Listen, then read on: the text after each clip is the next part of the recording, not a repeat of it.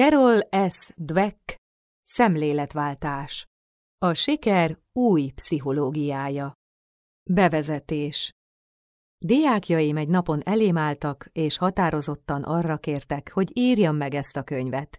Úgy gondolták, hogy minél többen ismerik meg munkánk eredményét, annál többen élhetnek boldogabb és sikeresebb életet. Bennem is régóta motoszkált már az írás gondolata, de ettől a naptól vált elsődleges feladattá az életemben. Munkám abban a pszichológiai hagyományban gyökerezik, amely az emberi hiedelmeket vizsgálja. Tudatos és tudattalan hiedelmeink alapvetően meghatározzák, mit akarunk elérni, és azt is, hogy valóban elérjük-e. Ez a pszichológiai felfogás abból indul ki, hogy az egyén hiedelmeinek megváltoztatása, legyen szó akár a legegyszerűbbekről, mélyreható változásokat eredményezhet az életében. E könyv bemutatja, hogy a kutatásaink során felismert, önmagunkkal kapcsolatos egyszerű hiedelmeink hogyan veszik át az irányítást életünk nagy része, sőt, igazság szerint minden egyes területe felett.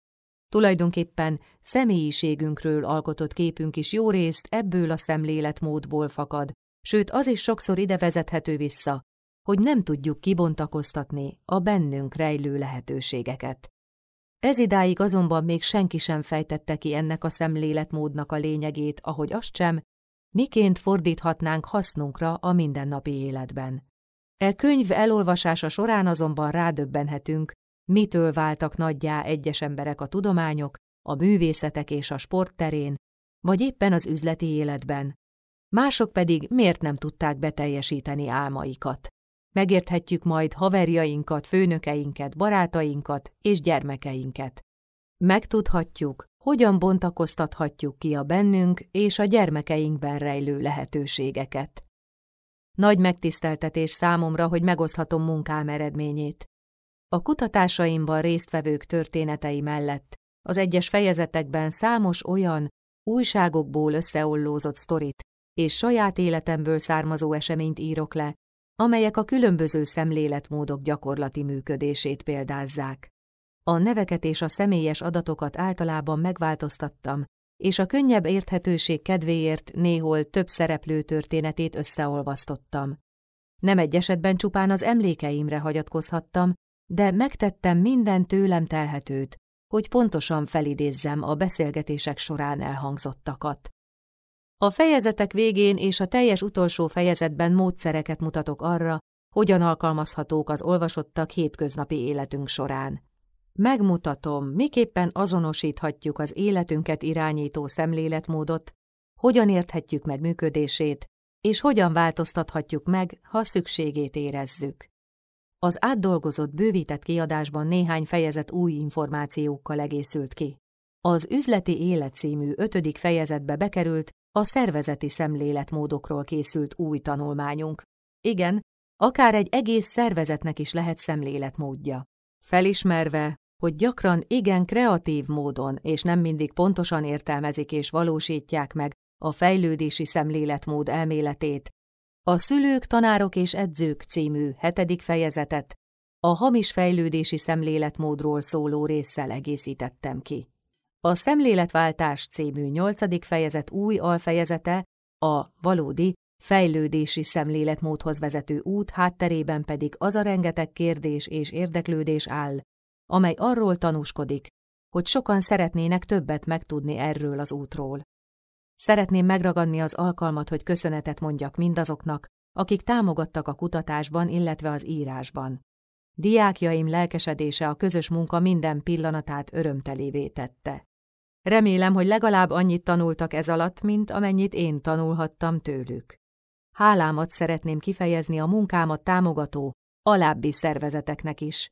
William T. Grant Alapítvány, William T. Grant Foundation, Nemzeti Tudományos Alap, National Science Foundation, Oktatási Minisztérium, Department of Education, Nemzeti Mentálhigiénés Intézet, National Institute of Mental Health, Nemzeti Gyermekegészségügyi és Fejlődéstani Intézet, National Institute of Child Health and Human Development, valamint a Spencer Alapítvány, Spencer Foundation, és a RAIX Alapítvány, RAIX Foundation. A Random House munkatársainál lelkesítőbb csapatot nem is kívánhattam volna. Köszönettel tartozom Webster Jonesnak, Daniel Menekörnek, Tom Perrynek és mindenek előtt szerkesztőimnek, Caroline Suttonnek és Jennifer Hersheynek. Bátorításuk és nagyszerű javaslataik nélkül ez a könyv nem készülhetett volna el. Ugyancsak szeretnék köszönetet mondani csodálatos ügynökömnek, Gilles Andersonnak, valamint Heidi Grantnek, aki bemutatott neki. Köszönöm mindenkinek, aki megosztotta tapasztalatait és véleményét, de különösen hálás vagyok Polly Schulmannek, Richard Dwecknek és Miriam Peskinnek hasznos megjegyzéseikért. Végül pedig szeretnék köszönetet mondani férjemnek, Davidnek mindazért a szeretetért és lelkesedésért, amelyel gazdagabbá teszi az életemet. El sem tudom mondani, milyen sokat jelentett, hogy munkám során mindvégig támogatott. Könyvem a növekedésről és a fejlődésről szól, és nagyban hozzájárult saját fejlődésemhez is. Bízom abban, hogy mindezt olvasóim is átélhetik. Első fejezet Szemléletmódok Fiatal kutatókoromban még a pályám elején történt valami, ami örökre megváltoztatta az életemet. Szinte megszállottan próbáltam választ kapni arra a kérdésre, hogyan kezelik az emberek a kudarcot. Úgy gondoltam, a legjobb módszer az lesz, ha különösen nehéz feladatokkal küzdő diákokat tanulmányozok. Ezért egyesével behívtam néhány gyereket az iskola egyik termébe, majd miután kényelmesen elhelyezkedtek, átadtam nekik a megoldandó feladatokat. Az elsők könnyűek voltak, majd egyre nehezebbek következtek. A diákok nyögtek, izzadtak és szenvedtek, én pedig figyeltem, milyen stratégiát alkalmaznak, mit gondolnak és éreznek. Amikor már igazán nehéz feladatok kerültek sorra, volt, amit csak többszöri nekifutásra, vagy egyáltalán nem tudtak megoldani. Számítottam rá, hogy különbözőképpen viszonyulnak majd a nehézségekhez, de olyasmit tapasztaltam, amire álmomban sem gondoltam volna. Az egyik tíz éves srác például közelebb húzta a székét, összedörzsölte a kezét, csettintett a nyelvével, majd lelkesen felkiáltott, imádom a kihívásokat. Egy másik, miután a feladatok alaposan megizzasztották, elégedetten rám nézett, és határozottan azt mondta, tudja, őszintén reméltem, hogy tanulhatok majd valamit a feladatokból. Mi a baj velük? Töprengtem.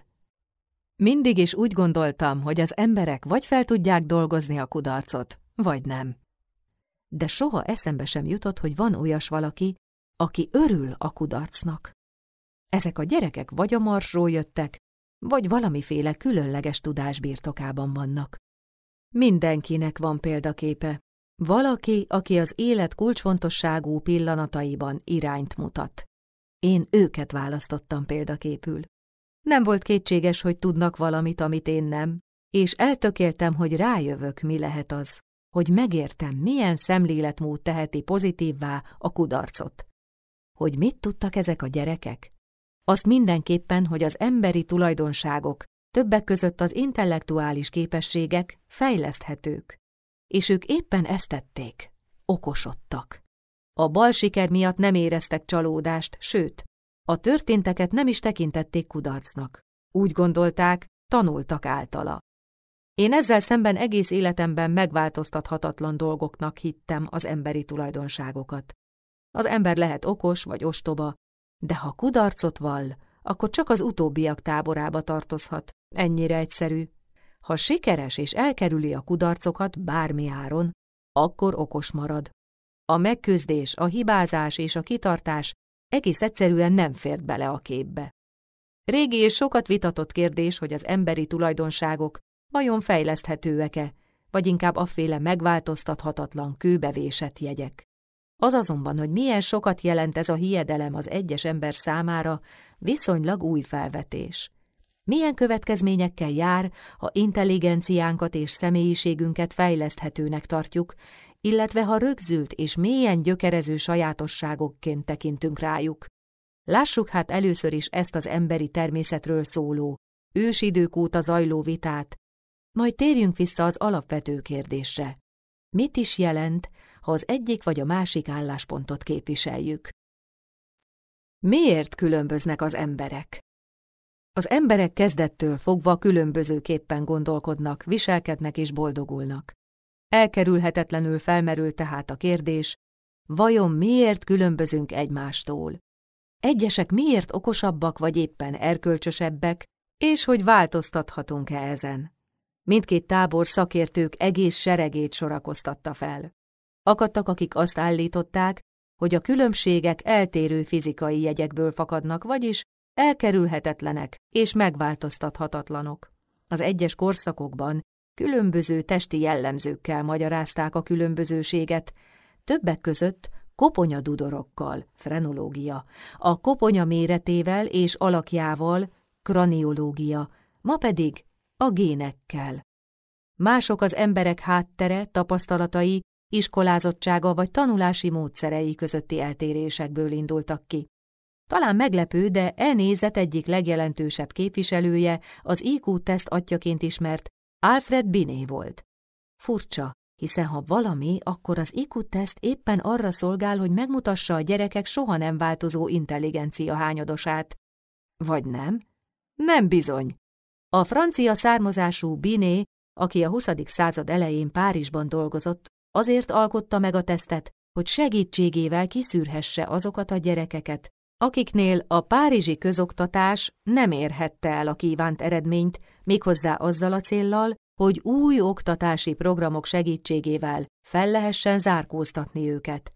Amellett, hogy soha nem tagadta a gyermekek szellemi képességei között fennálló egyéni különbségeket, hitt abban, hogy a tanulás és a gyakorlás alapvető változásokat eredményezhet az intelligencia terén. Álljon itt egy részlet egyik legfontosabb művéből, az iskolás gyermek lélektanából, amelyben több száz tanulási nehézségekkel küzdő gyermekkel kapcsolatos megfigyelését összegzi.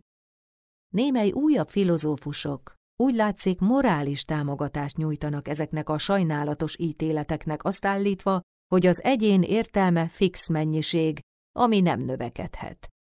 Kénytelenek vagyunk tiltakozni, és szót emelni e durva pessimizmus ellen. Gyakorlattal, beleszokással és kivált módszerrel sikerül az embernek növelnie figyelmét, emlékezetét, ítéletét, és szó szerint értelmesebbé válnia, mint azelőtt. Kinek van igaza? Manapság a legtöbb szakértő egyetért abban, hogy a probléma ennél jóval összetettebb. Nem a természet vagy a nevelés, nem a gének vagy a környezet adja meg a választ. A két oldal a fogantatástól kezdve állandó kölcsönhatásban áll. Sőt, ahogy az ismert neurológus Gilbert Gottlieb fogalmazta, a gének és a környezet fejlődésünk során nem pusztán együttműködnek egymással, génjeink helyes működéséhez elengedhetetlenek a környezeti hatások. Ugyanakkor a tudósok mind szélesebb körben kezdik felismerni, hogy sokkal nagyobb mértékben vagyunk képesek egész életünk során fejleszteni elménket és tanulni, mint ahogy korábban sejtettük. Genetikai állományunk természetesen egyedi. Temperamentumunk és adottságaink is eltérnek, ám a tapasztalás, a gyakorlás és az egyéni erőfeszítések jelentősen befolyásolják, milyen utat járunk be. Robert Sternberg, napjaink egyik legismertebb intelligencia szakértője szerint a megfelelő tudás megszerzéséhez szükséges legfontosabb tényező nem valamiféle rögzült adottság, hanem az elszánt akarat. Vagy ahogyan előfutára Biné felismerte, a végén nem feltétlenül azok lesznek a legokosabbak, akik a legokosabbként indultak. Mit is jelent mindez az egyén szempontjából? A kétféle szemléletmód. A szakértők számtalan tudományos fórumon kifejthetik véleményüket, de számunkra ennél sokkal fontosabb, hogyan alkalmazhatjuk eredményeiket hétköznapi életünkben. Az elmúlt harminc évben végzett kutatásaim során arra a következtetésre jutottam, hogy az önmagunkkal kapcsolatos szemléletünk egész életünket alapvetően meghatározza, így például azt is, hogy sikerül-e olyan emberré válnunk, amilyenné szeretnénk, és hogy elérjük-e azokat a célokat, amelyeket fontosnak tartunk. De hogyan is zajlik mindez? Miként lehetséges, hogy egyetlen hiedelem képes megváltoztatni lelki működésünket, így pedig egész életünket? A meggyőződés, hogy az emberi tulajdonságok megváltoztathatatlanok, vagyis a rögzült szemléletmód állandó önigazolásra késztet.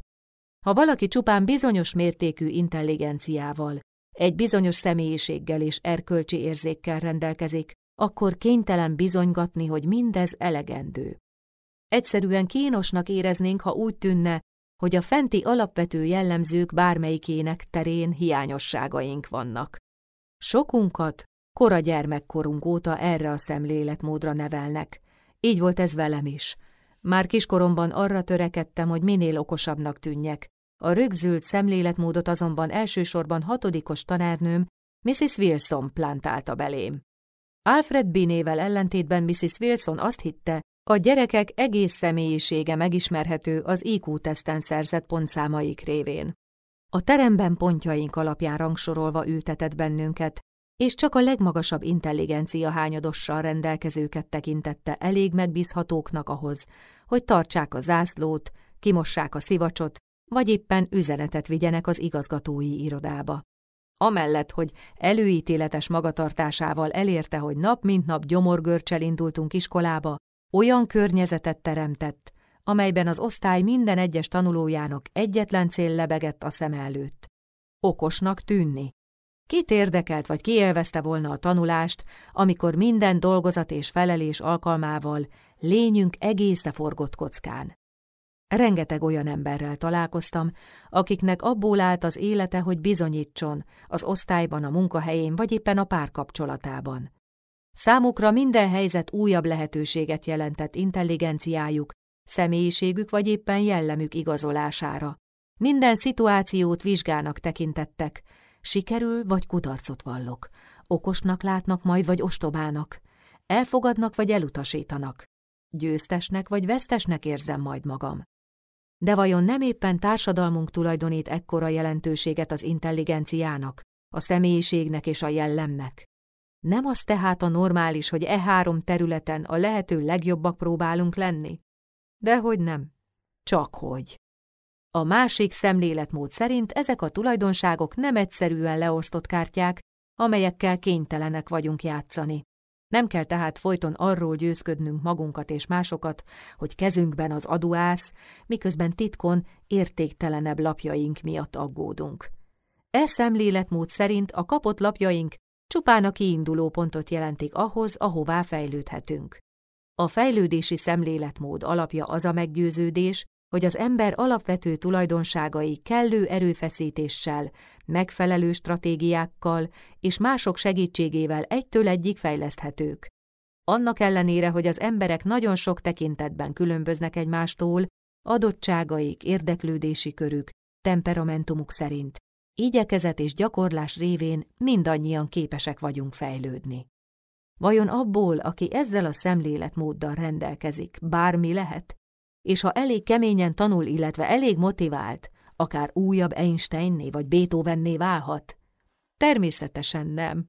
Abban viszont szilárdan hisznek, hogy az emberben ismeretlen és kiismerhetetlen lehetőségek rejlenek, és hogy nem láthatjuk előre, hová juthatunk el hosszú évek szenvedélyének, erőfeszítéseinek és gyakorlásának eredményeképpen. Csak kevesen tudják, hogy Darwint és Tolstoyt teljesen átlagos gyereknek tartották, hogy Ben Hogan minden idők egyik legkiemelkedőbb golfjátékosa gyermekkorában mozgáskoordinációs problémákkal küzdött, és mozgása a legkevésbé sem volt elegáns. A 20. század egyik legjelentősebb művészének tartott Cindy Sherman első fotókurzusa végén megbukott. A nagyszerű színésznőnek, Geraldine Page-nek pályája elején azt tanácsolták, próbálkozzon inkább valami mással.